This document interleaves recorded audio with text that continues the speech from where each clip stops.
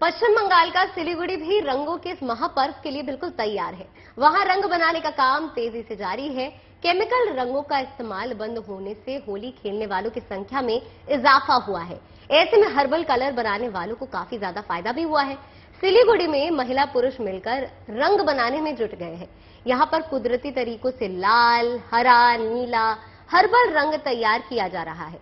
इन रंगों को तैयार करने के बाद धूप में सुखाया जाता है। फिर इन्हें पैकेट में भरकर बाज़ार पहुँचाया जाता है।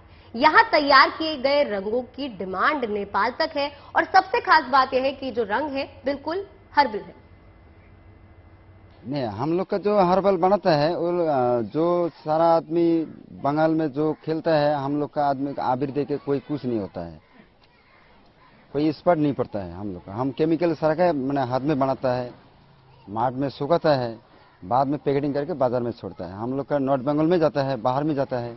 अभी बाज़ार ठीक चल रहा है, अभी कोई दिक्कत नहीं।